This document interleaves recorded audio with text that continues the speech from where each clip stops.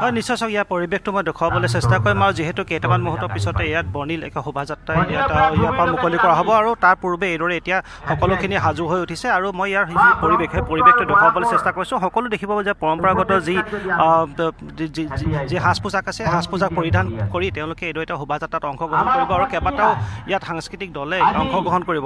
আৰু যিহেতু চাৰিশ দুই সংখ্যক কেন্দ্ৰীয় লাচিত দিৱস ইয়াত উদযাপন কৰা হৈছে অসম চৰকাৰৰ সাংস্কৃতিক পৰিক্ৰমা বিভাগৰ উদ্যোগত আৰু ইয়াত যি মুকলি সভা অনুষ্ঠিত হ'ব। দিনৰ এক বজাত মুকলি সভাত অসম চৰকাৰৰ মন্ত্ৰী বিমল বৰা লগতে যোগেন মোহন এই দুগৰাকী মন্ত্ৰী ইয়াত উপস্থিত থাকিব। আৰু বৰ্তমান সময়ত যদি আমি চাওঁ এতিয়াও বৰ্তমান ৰাজ্যসভাৰ সাংসদ ৰামেশ্বৰ তিল ডাঙৰীয়া উপস্থিত আছে। আৰু কিছু সময় পূৰ্বে ইয়াত উপস্থিত হৈছিলহি পবিত্ৰ মাৰ্ঘৰিতা সাংসদ তেখেত তেওঁলোক ইতিমধ্যে ইয়াৰ পৰা বৰ্তমান সময়ত ৰাওনা হৈছে।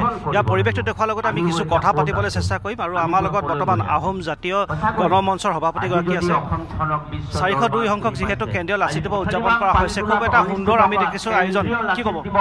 আচলতে যিজন বীৰে যিজন মহাবীৰে এই অসমৰ এই ভূখণ্ডৰ মানে অখণ্ডতা ৰাখিলে যিখন যিজন বীৰে আচলতে অসম আৰু অসমীয়া জাতিৰ স্বাভিমান ৰক্ষা কৰিলে যিজন বীৰে আচলতে মোগলৰ পৰা অসমক ৰক্ষা কৰি অসমীয়া জাতিটোক চিৰ কালৰ কাৰণে দি থৈ গ'ল সেইজন বীৰৰ আজি আচলতে আমি দিৱসটি আমি উদযাপন কৰিছোঁ।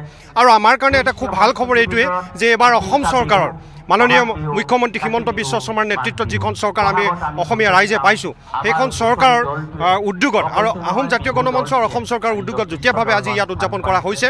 ইয়াত উলহ মালহেৰে সকলো মানুহ ওলাই আছে বিভিন্ন জাতি জনগোষ্ঠী ইয়াত একত্ৰিত হৈছে আৰু মহাবীৰজনাৰ যি দিৱসটি সেই দিৱসটি উদযাপন কৰিবৰ কাৰণে সকলো সমবেত হৈছে। এতিয়া শোভাযাত্ৰা আছে আৰু তাৰপিছত কি কি কাৰ্যসূচী আপোনালোকে লৈছে? আহ, ইতিমধ্যে পুৱা আমাৰ পতাকা উত্তোলন হৈ গৈছে মৈদাম তৰ্পণ হৈছে লাচিত বৰফুকনৰ প্ৰতিচ্ছবিত মাল্যাপৰ্ণাৰ বন্তি প্ৰজ্বলন হৈছে পবিত্ৰ মাঘেৰিতা ডাঙৰীয়া ইতিমধ্যে আমাৰ ইয়াত আহি গৈছে। তেওঁ মৈদামত চাকি এগছ জ্বলাই গৈছে আৰু জাতিটোৰ কাৰণে তেওঁ আশীৰ্বাদ বিচাৰিছে। আৰু এতিয়া শোভাযাত্ৰা আছে। শোভাযাত্ৰাৰ পিছত আমাৰ মুকলি সভা হ'ব। আমাৰ মাজলৈ আহিব বিমল বৰা ডাঙৰীয়া সাংস্কৃতিক পৰিক্ৰমা বিভাগৰ মন্ত্ৰী। আমাৰ মাজলৈ আহিব যোগেন মোহন ডাঙৰীয়া আহিব। প্ৰশান্ত ফুকন ডাঙৰীয়া আহিব। আৰু যথেষ্টখিনি দল সংগঠনৰ নেতৃত্ববৰ্গ আমাৰ ইয়ালৈ আহিব। আজি আমি ধুমধামেৰে গোটেই অনুষ্ঠানটো উদযাপন কৰিম। হয় নিশ্চয় ইতিমধ্যে যিহেতু ইয়াত অসম চৰকাৰৰ উদ্যোগত কেন্দ্ৰীয়ভাৱে যিহেতু মহাবীৰ লাচিত দিৱস উদযাপন কৰা হৈছে আৰু ইয়াৰ পৰিৱেশটো বৰ্তমান মই দেখুৱাবলৈ চেষ্টা কৰিছোঁ আৰু ইতিমধ্যে পুৱা ভাগত কৈছে যে পতাকা উত্তোলন লগতে মৈদাম তৰ্পণ সেইখিনি ইতিমধ্যে কাৰ্যসূচী হৈ গৈছে আৰু বৰ্তমান সময়ত এইদৰে এতিয়া যি সাংস্কৃতিক শোভাযাত্ৰা শোভাযাত্ৰা মুকলি কৰা হৈছে। আমি পোনপটীয়াকৈ সেই দৃশ্য দেখুৱাই যাবলৈ চেষ্টা কৰিছোঁ। ইয়াত গায়ন বায়নৰ দলৰ পৰা আৰম্ভ কৰি যিবোৰ সাংস্কৃতিক দল সেই সকলোখিনি সাজু হৈ আছে। আমি ইয়াৰ সম্পূৰ্ণ পৰিৱেশটো দেখুৱাই যাবলৈ চেষ্টা কৰিছোঁ আৰু কেইটামান মুহূৰ্তৰ পিছতেই এই দুগৰাকীকৈ মন্ত্ৰী ইতিমধ্যে আহি উপস্থিত হ'বহি। আমি ইয়াৰ যিটো বৰ্তমান সময়ত যি শোভাযাত্ৰা শোভাযাত্ৰা এতিয়া মুকলি কৰা যিটো হৈছে আমি সেই দৃশ্য পোনপটীয়াকৈ দৰ্শকসকলক দেখুৱাই যাবলৈ আমি আমি চেষ্টা কৰিছোঁ। আমাৰ গায়নৰ দলটিক তেখেতলোকৰ ঘাট দি মাৰিবৰ কাৰণে অনুৰোধ জনাইছোঁ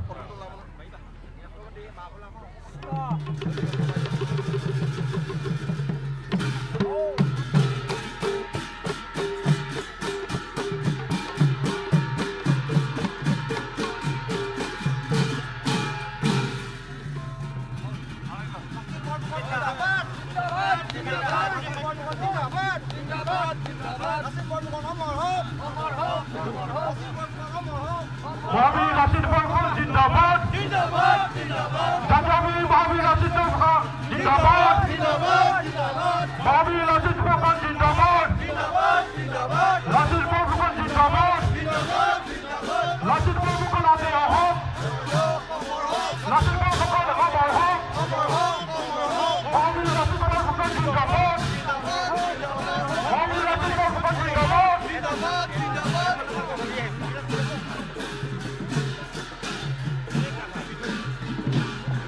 মৰাণ মৰাণৰ পথালি বামৰ যিহেতু এইদৰে এতিয়া ইয়াত শোভাযাত্ৰা যিহেতু ইয়াত ওলোৱা হৈছে মই কিছু দৃশ্য দেখুৱাবলৈ চেষ্টা কৰিছোঁ। এই শোভাযাত্ৰা আদৰিবলৈ এইদৰে এতিয়া গাঁওবাসীয়ে তেওঁলোকে সাজু হৈছে। পথত এইদৰে তেওঁলোকে শৰাই দি এই যি শোভাযাত্ৰা যি আগবাঢ়িছে শোভাযাত্ৰা তেওঁলোকে এইদৰে ইয়াত সেৱা লৈ তেওঁলোকে শোভাযাত্ৰা এতিয়া আদৰিছে। আমি সেই দৃশ্য দেখুৱাবলৈ চেষ্টা কৰিছোঁ আৰু যিহেতু এটা গ্ৰামাঞ্চলত এই অনুষ্ঠানটো ইয়াত যিটো আয়োজন কৰা হৈছে ইয়াৰ যিবিলাক পৰম্পৰা থাকে সেইবিলাক এইদৰে এতিয়া প্ৰতিফলিত কৰা হৈছে আৰু এইদৰে এতিয়া শৰাই আগবঢ়াই তেওঁলোকে আশীৰ্বাদ লৈছে। আমি সেই দৃশ্য দেখুৱাবলৈ চেষ্টা কৰিছোঁ দৰ্শকসকলক।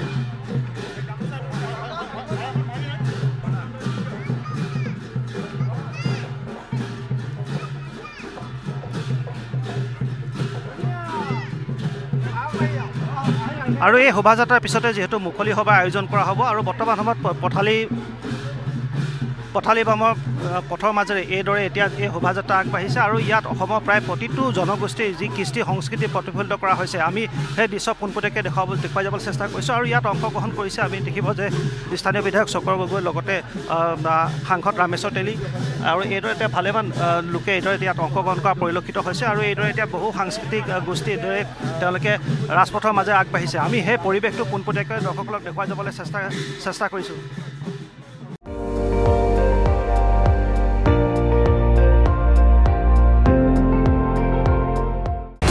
আপুনি চাই আছে এন ডি টুৱেণ্টি ফ'ৰ। সৰ্বশ্ৰেষ্ঠ নহয় সৰ্বোত্তমৰ দৌৰত।